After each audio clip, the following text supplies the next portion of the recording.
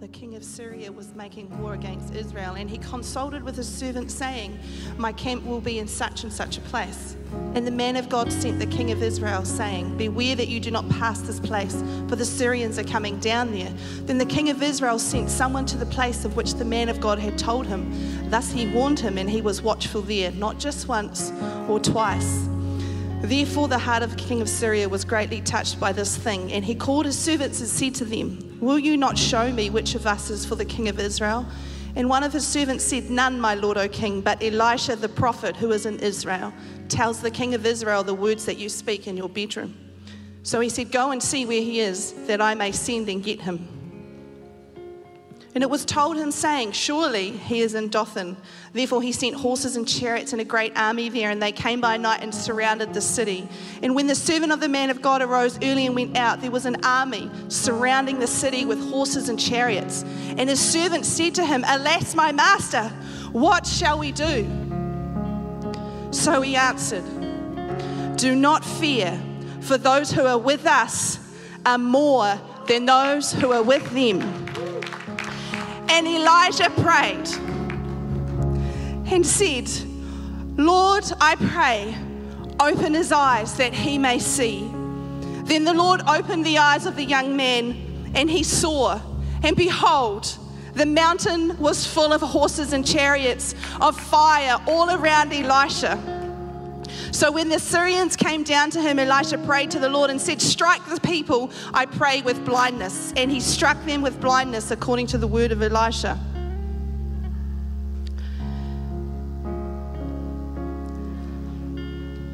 Lord, open our eyes that we would see that those who are with us is far greater than those who are against us. Hallelujah. I don't know, I think that's, we deserve a little bit more than that. Come on, those who are with us are far greater than those who are against us.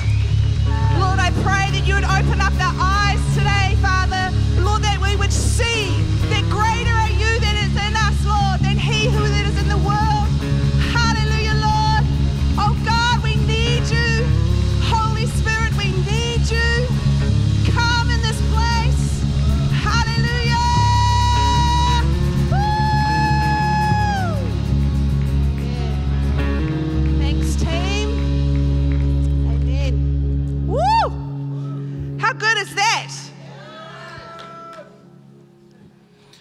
just was thinking, stay standing, you can sit in a minute. Um, I was just thinking while we were worshiping just about that and how sometimes, you know, I'm thinking about all of the, you know, we've just gone through this, we've just had it kind of like a mini move of God come through our church. Anybody want to agree with that? And I love God's grace for us because He doesn't give us more than what we can handle, and He doesn't allow us to say, stay silly in a season. Well, that's my prayer anyway. Maybe that's, that's not so true. Um, but he, he always gives us like this ground that we can occupy. So at first, it's a little bit hard going. We're fighting, we're battling it out for this te- new territory. And then all of a sudden, the fight stops because the enemy has been defeated. But it is not the time, Peak Vision Church, to sit back with your coffee and your latte in your hand and get out a book and read. I'm preaching to myself here. Cup of tea, not a coffee. But Kent's like, yes, amen. It is not the time for us to just fold over and just be like, oh, the work is done. Oh, mate, it is just beginning. There is so much more territory and land that God wants us to occupy as a church. And it's like I've always said, it's not just Kent and I or Jack and Sari. It's all of us. We all have a part to play in this. Why? Because the Word of God says that the spiritual gifts are for who? Everybody. Everybody. Turn to your neighbor and say, It's for you. It's for you. Cool. Okay, you can have a seat.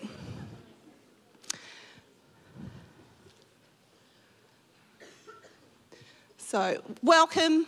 If it's your first time today or you're pretty new, My prayer is that somebody has welcomed you with a smile, with a greeting, and maybe even uh, a little bit of a conversation. Who finds that difficult? Yeah. Oh, come on, let's be honest.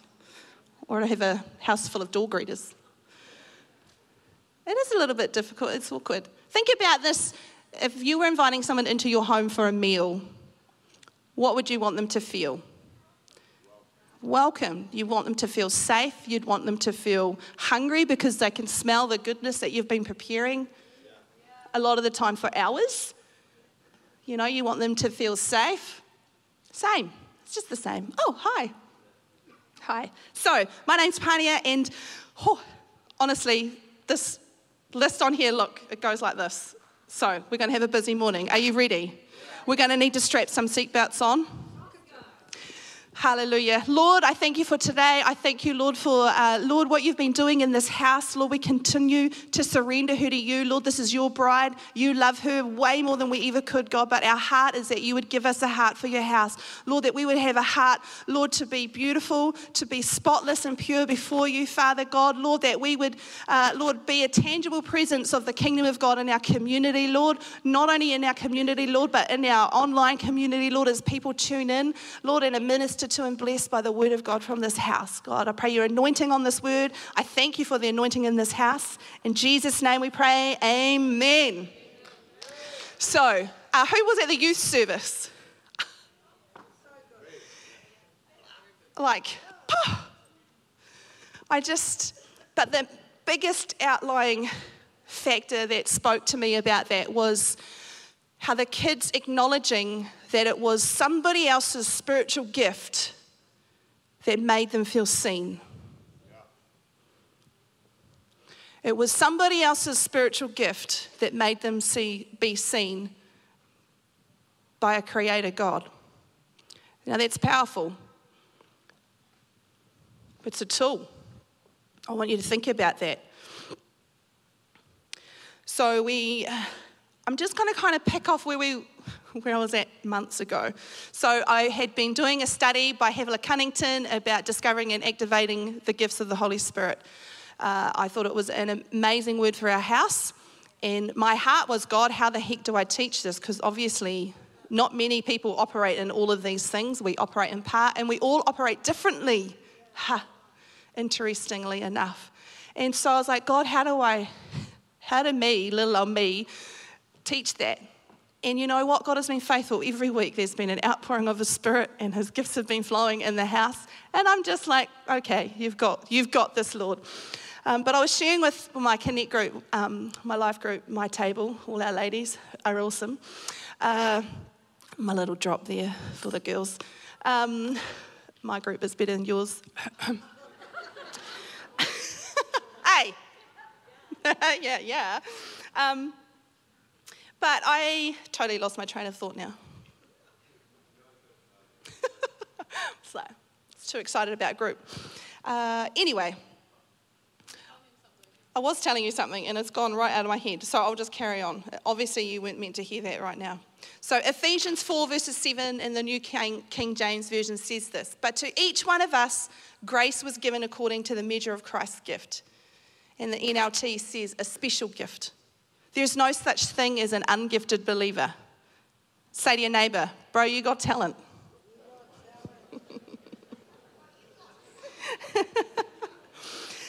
now, what I thought is interesting here is that the Greek word for gift comes from, uh, comes from the word charis. I'm sorry, any Greek speaking people in here, please don't be offended at me. I'm trying my hardest.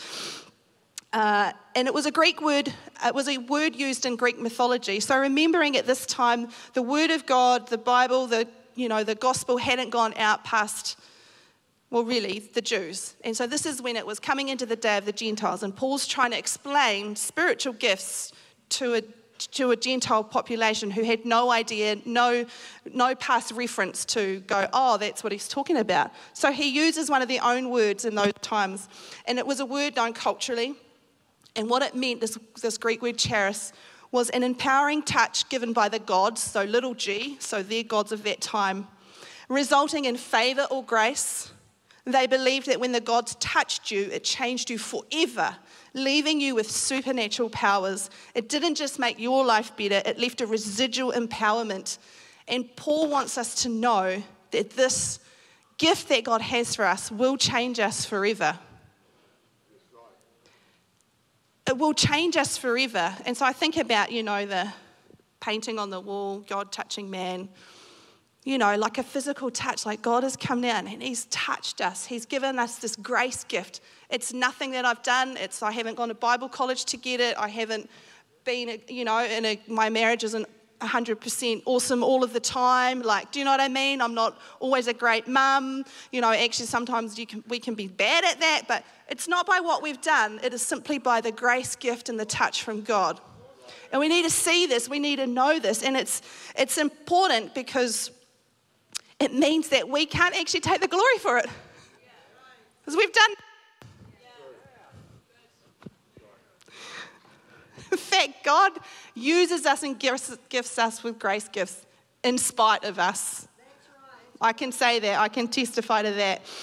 Um, so they're not given by merit. Um, it is, and it doesn't mean also that once I have this gift, my life will be forever perfect. It doesn't mean that we stop growing. It means that we're still going to grow, we're still going to fail all the time. Failure is not an option, it's a necessity because it's how we grow. And so, charisma, so this comes from that Greek word charis, charisma doesn't prove someone's character.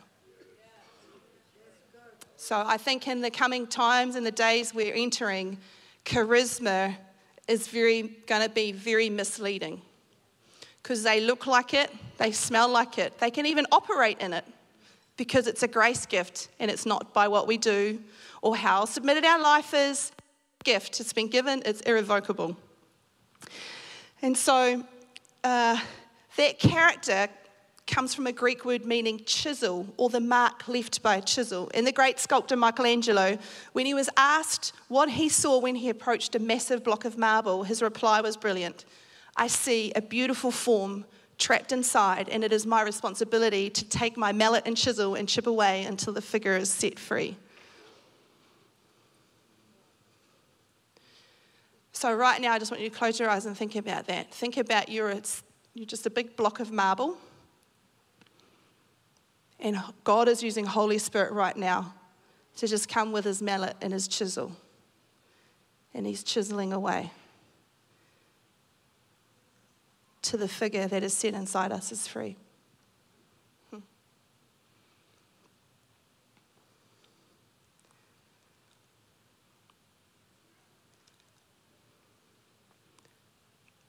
So, charisma is like a wand, a divine touch with immediate empowerment. It requires no effort, just receiving. It's a supernatural power. Character is like the chisel, an inward working that takes effort over a period of time. Charisma does not prove my character. This helps to keep us humble. Charisma is an outward gift of grace, and character is an inward working of the Holy Spirit. A great question to ask ourselves is Do I have the character to contain and maintain the gifts that God has for me? And why I say that is because even in recent years, we've had so many amazing, faithful, power filled men and women of God who have fallen aside. How? Because their character is insufficient to contain and maintain the gifts that God has on them. Anthony, can you pass my Bible out of my bag?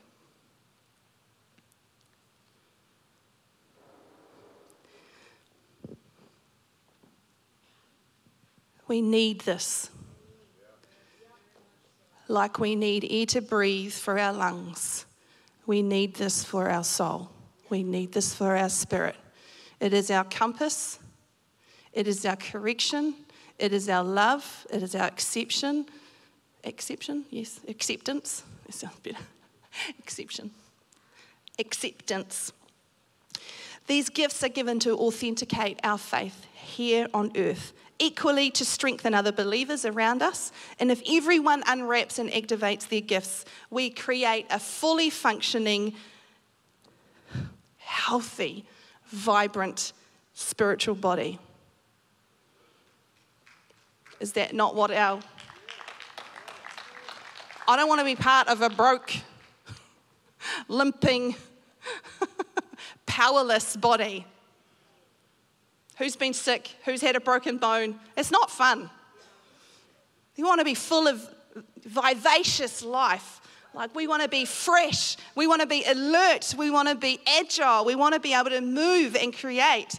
And just like I was sharing at the beginning, how important it is that these spiritual gifts are operating in fullness in the church.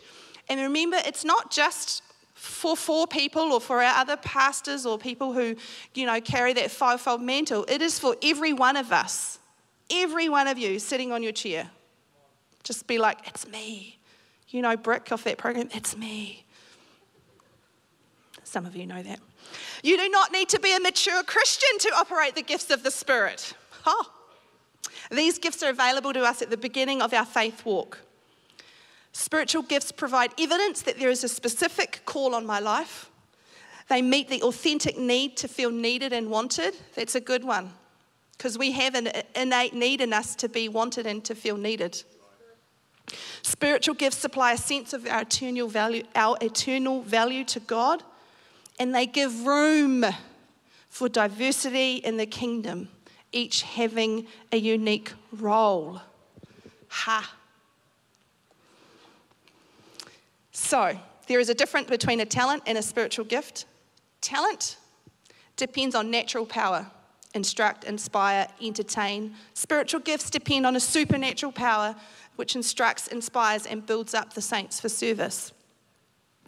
So, a great example of that is like for me, I was sort of about vocally. So, I can sing, but that's just a talent. But what I do with my voice points people to God. That's the supernatural gift. Do you see the difference? It's pretty easy, eh? Talent versus gift. Now, I'm going to encourage you right now. So just lean in and be like, oh, I'm ready for this. If you think that you don't have anything to offer God, lack talents, or feel like a nobody, then listen to this. Abraham was old.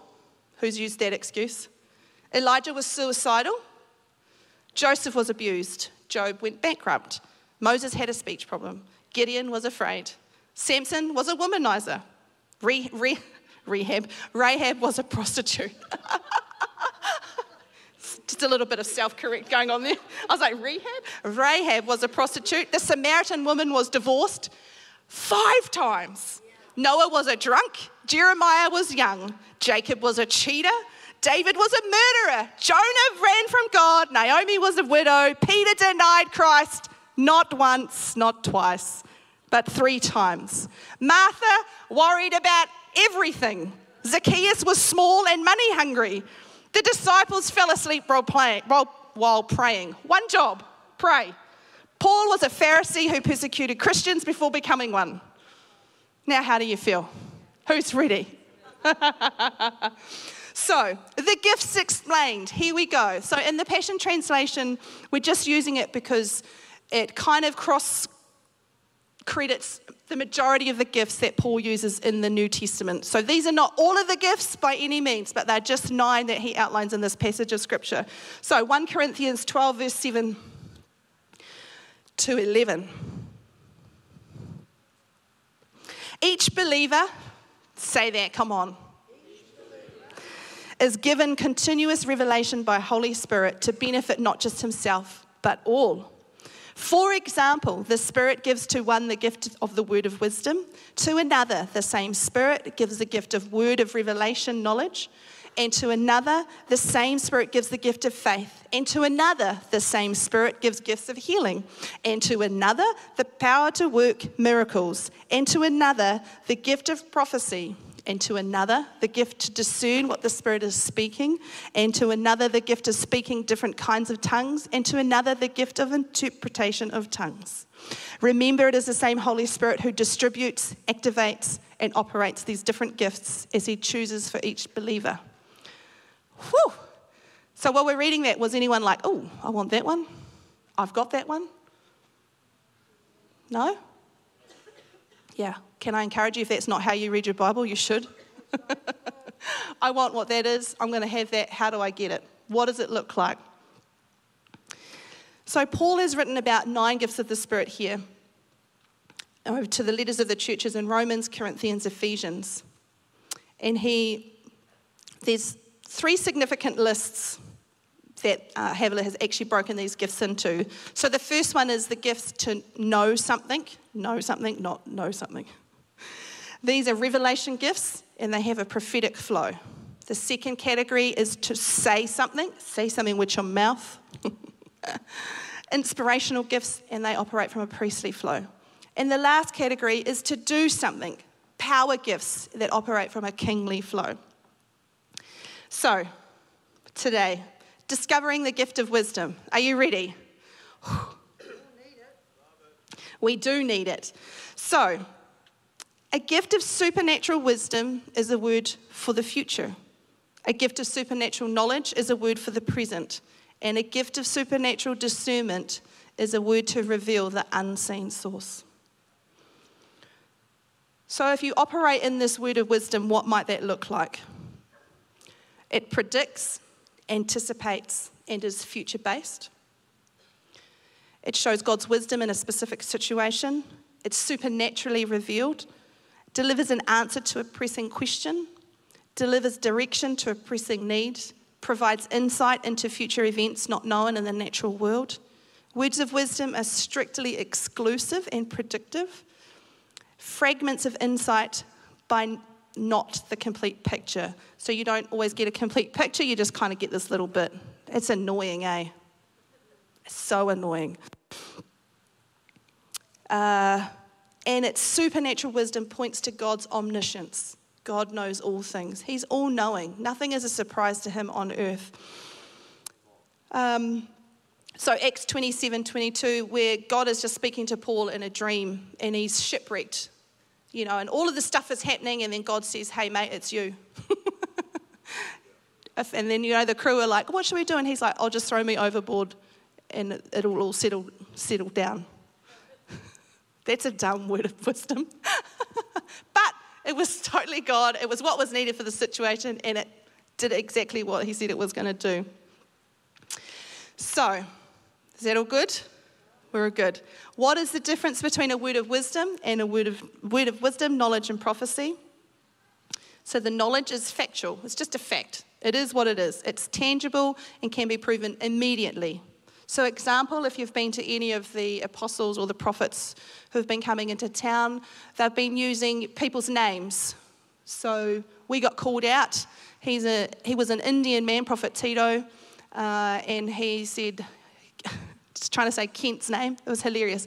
Kent, Kent, Kent. Because they don't have any idea about our dialect, our names. So he's like Kent. And then he looks to me and he's like, Pan, Pan, Panni, Pan, Panni, Pania. Which is fine, Americans can't even say my name properly. But he's giving us factual information. Often they, mostly, not the ones in this house, um, but they're giving factual information. Sometimes it's a phone number, it's an anniversary date, it's a birthday, it's significant events that have happened in your year, um, in a year for your life. Um, so that's kind of what a word of wisdom is. Ah, lost it. Um, a word of knowledge, sorry. Uh, uh, so your name, you did this yesterday, you know, this is what's happening. A word of wisdom is predictive piece of supernatural information to use for something in the future. Uh, uh, like, um, I read a story, actually, Havilah's father, uh, he had a, like a picture of a man in a blue shirt on a white porch. Yeah. And so he was, uh, he said, I need to go and find this man. So he drove around his neighborhood, probably for about half an hour it took him, found the man sitting on the porch. And you were like, What? He did what? He did. But what is he going to say? Who cares? God, he's here. And he just went up to that man and he said, Hey, I don't know what's going on in your life, but God showed me a picture of you and he just wants you to know that he loves you. This man broke, gave his heart to the Lord. Who doesn't want a gift like that? You know, who's got, who's got prodigal sons who are out there who, man, if someone went up to them, hey, I've been driving around looking for you for half an hour, God just wants you to know that He loves you. Please, can somebody? See how powerful this is? This is powerful stuff. Uh, prophecy is God's way of communicating what He thinks, feels, and sees. We'll go into that. So, that gift of knowledge in 1 Corinthians 12, verse 8. Just remember, the same Spirit gives the gift of the word of revelation knowledge. It's a word for now, for present. Uh, a great example of this story is in John 4 when Jesus is at the well with the Samaritan woman. And even the events of how he got there is like, Jesus, why are you here? But he was on a God assignment. And we're just going to uh, pick up at verse 15. I don't know if it's behind me. Uh, but the woman said to him, Sir, give me this water so that I won't get thirsty and have to keep coming here to draw water. He told her, Go, call to your husband and come back. oh, I love Jesus. I have no husband, like he didn't know this, she replied, etc. So if you don't know this story, she was married and divorced, I think it was five times. And she was with just a partner, wasn't even married. And Jesus got this revelation knowledge. And do you know the impact of that wasn't just for her, because all of a sudden she is seen by Jesus, who she shouldn't be because she's Samaritan, and culturally that was just, they were dogs. But she takes that to her hometown. You'll never guess I met a man and he told me about my whole life. Entire town gets saved. Spiritual gifts are necessary and so important. That word took her from distraction to destiny. Hmm. Some of us are distracted, and God wants to just go, or from distraction to destiny. So, some characteristics of a word of knowledge it's provable, accurate, and present based. It's God's knowledge in a specific situation, again, supernaturally revealed. It reveals God's investment in every aspect of our lives, even the most minor details. It touches our need for identity and belonging. It exposes the truth and a path of deliverance if needed. It provides knowledge not known by everyone, but known in the natural world. It's very factual and again points to God's omniscience. So, the power of an intimate relationship with God is the secret to moving in your spiritual gifts. Yield, be in unity with Him, obey Him. So, the power of an intimate relationship with God is the secret to moving in your spiritual gifts. Yield, surrender, be in unity with Him, and then obey. Are you okay? This is all right? Discovering the gift of discernment. Again, 1 Corinthians 12, verse 10. And to another, the gift to discern what the Spirit is speaking. So, the advantage of this gift is the ability to understand the unseen source. Remember that these gifts come from revelation and prophetic flow. she calls it heaven's intelligence. Ever have a bad feeling that something wasn't right? Or when you meet someone, you're like, oh, something's not right. There's something off here. Not in a judgy way, but your spirit just picks up something.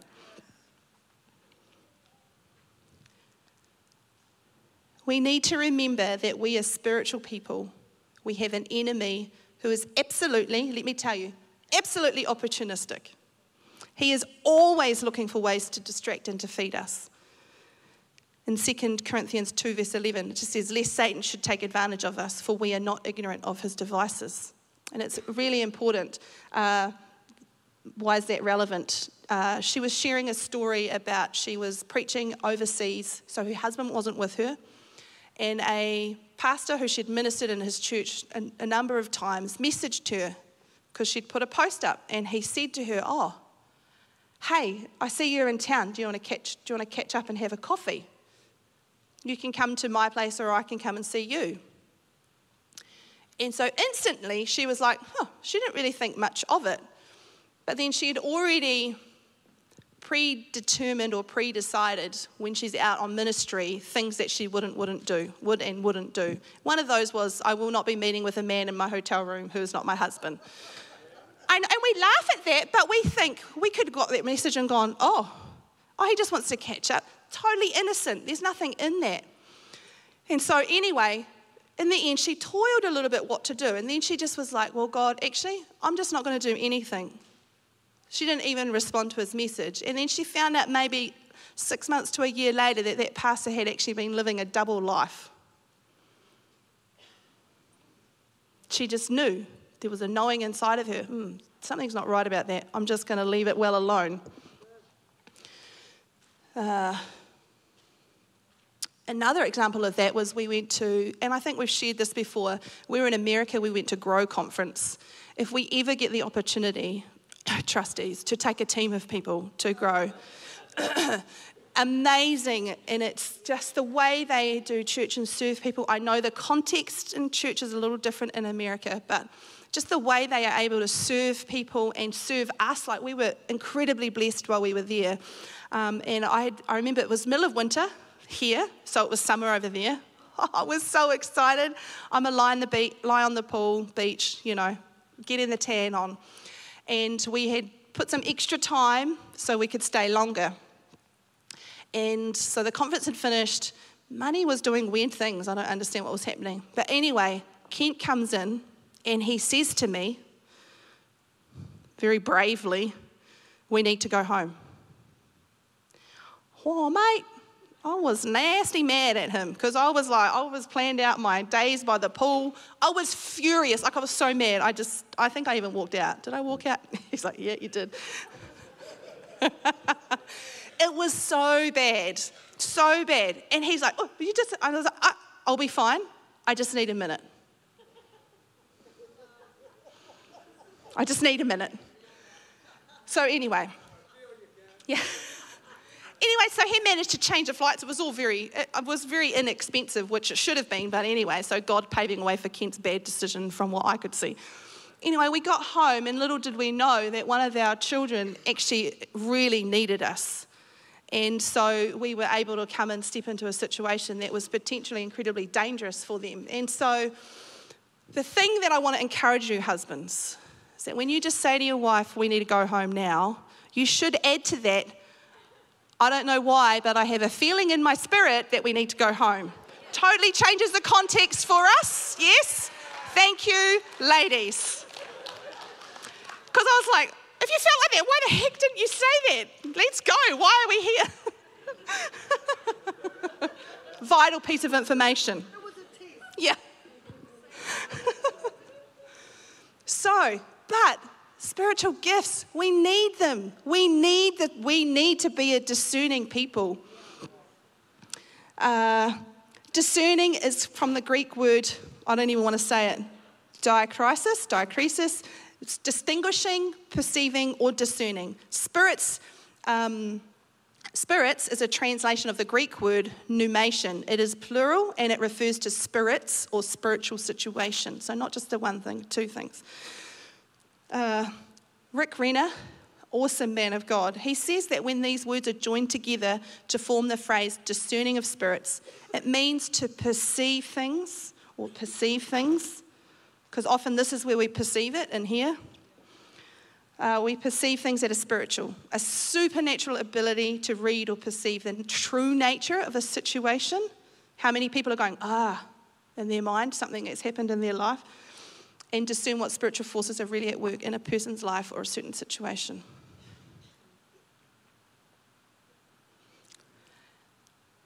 Okay. We've done two. We'll do a third. We'll do a third. We've got enough time. So, discovering the gift of prophecy, because this is actually the one that we all want to get to, hey? So, 1 Corinthians 12, verse 10. Again, and to another power, the power to work miracles, to another, the gift of prophecy, and to another, the gift to discern what the Spirit is speaking, to another, the gift of speaking different kinds of tongues, and to another, the gift of interpretation of tongues. Whew. So, this is part of the say category. So, say, say. Thank you. I was like, say, say. That doesn't make sense. Say, say. We're going to say something. It is an inspiration gift and it comes from the priestly floor. So, Paul says in 1 Corinthians 14, verse 1, it is good that you are enthusiastic. He's talking to us because we're all enthusiastic and we're passionate about spiritual gifts, especially prophecy. In another translation, it says, now eagerly desire the greater gifts. To for clarity, let's just define what the difference is between what a prophetic gift is and who is a prophet. Is there any difference? We often think prophecy is telling the future. No. Prophecy is there to edify, comfort. Sorry, my autocorrect's gone explore.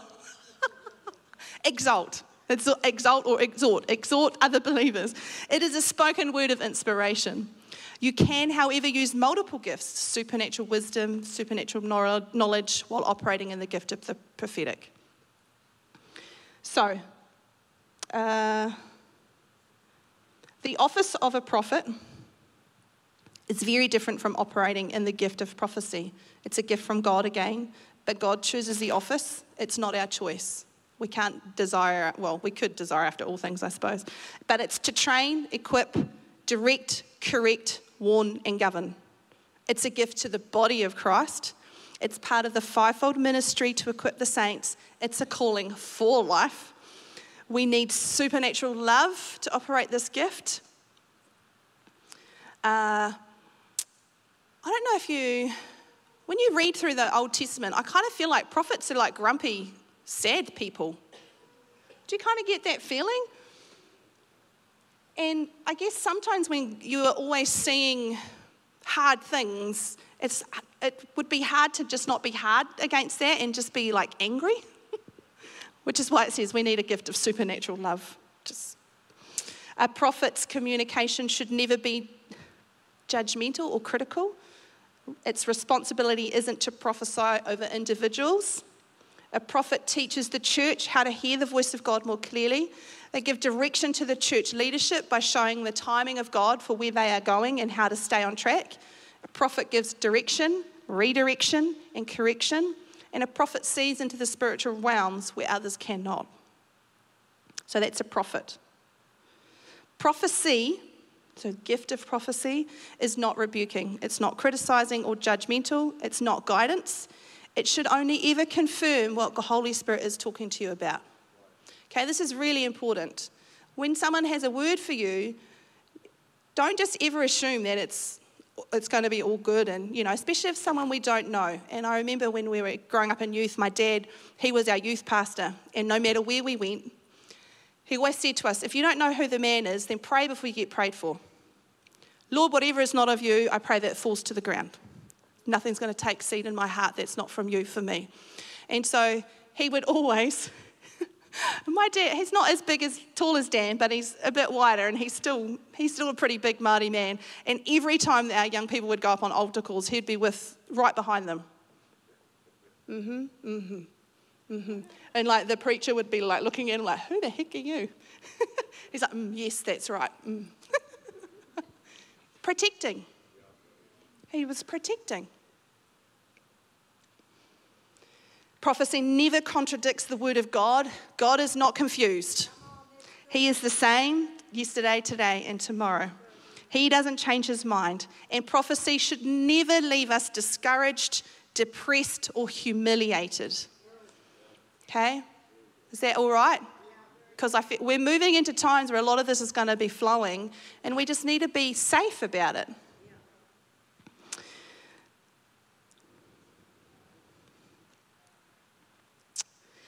So, Why do we have prophecy?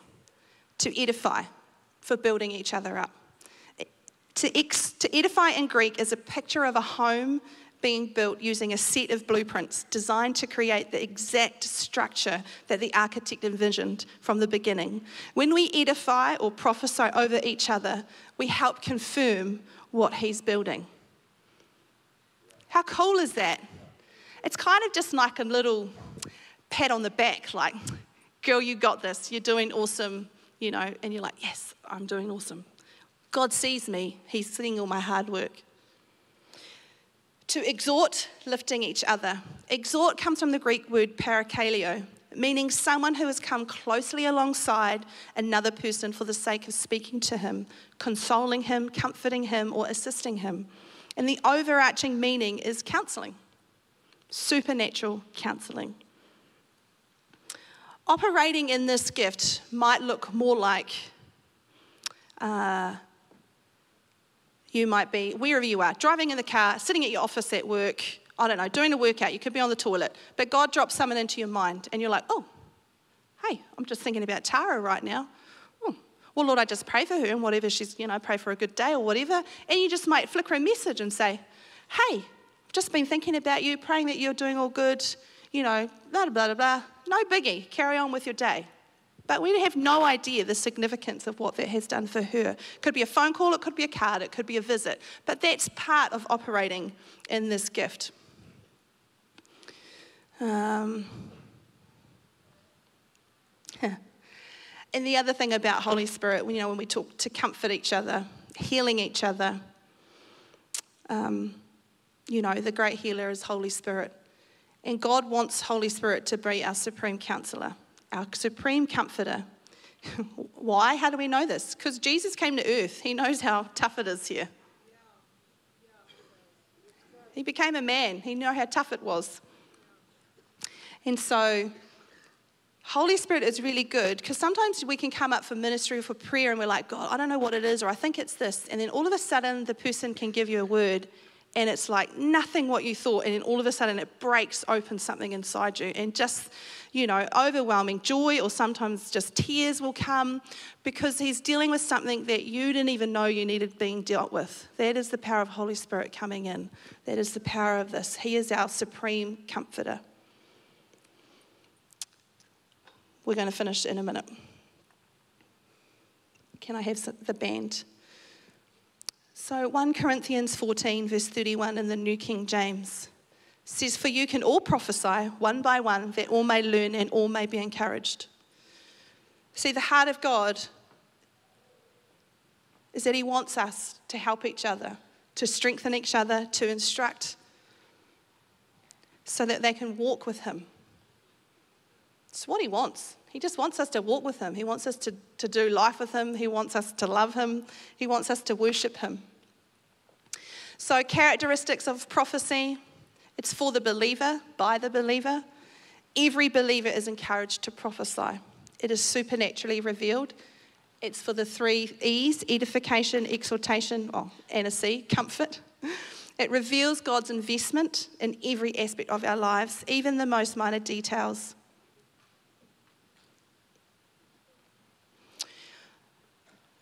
So we've touched on four, four gifts.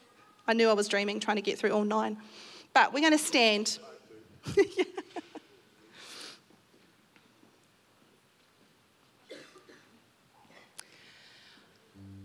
so, part of these spiritual gifts is that we need to activate them. So, how do we activate? That's fine, Pania, that's all cool. How do I activate mine? By faith. By faith.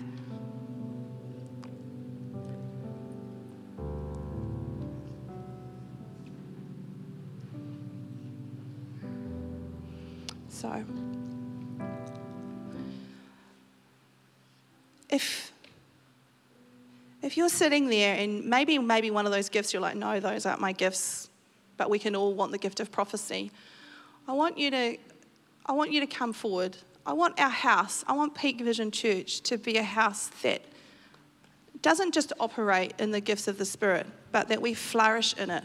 That this is a place where we are confident in who we are, we're confident in our community, we're confident in who God is and the task that He has for us to do. And to, to you know, God has given us this ground and we've occupied it and it's all good, but we've got more ground to go. And these, this is the key. These spiritual gifts and activating them are the key. And so if you want, we're going to pray, but if you want your spiritual gifts activated in your life, I want to encourage you to come to the front and we're going to say a prayer together. I'm just going to give you a moment to come to the front. it's just a simple acknowledgement. Yeah, God, I want my spiritual gifts to be activated. Or I kind of know what they are, but I want more. Like I want to move stronger, stronger in them. Thank you, Lord. Thank you, Jesus. Thank you, Lord. We're just going to say this prayer. Heavenly Father, I'm humbled by all I've heard. And rather than focus on my inability to do what you've asked me to do, I am honored that you would call me to this high and holy stewardship. It is not an accident because he who has called me is faithful. You also will do it. I rest in that truth. What you start, you finish. I humbly accept this calling to represent you with power and love. Give me the faith and courage I need to step out of the boat and into the water. For it is there you will meet me. In Jesus' name, amen. Amen. Now, if you don't know Jesus, you've got loads of gifts that are waiting to be unraveled. And one of those gifts was his beautiful son who came to earth, lived a perfect life and then He took all our shame, all our guilt, all our sin, all our shortfallings, shortcomings, and He nailed them to a cross where He died a bloody, brutal, painful death. Not to finish there, but so that we would have life with Him, so that we could live a life full of gifts, full of goodness. And if you would like to receive Him today, we've got our prayer team up here who would love to lead you in a prayer and welcome you to the kingdom. It's a great place to be. It's the best decision I ever made. But um, yeah, actually, why don't we pray? We'll just pray. Dear Lord Jesus, thank you for your son. I believe that he died and rose again. I thank you for your gifts for me. In Jesus' name, amen.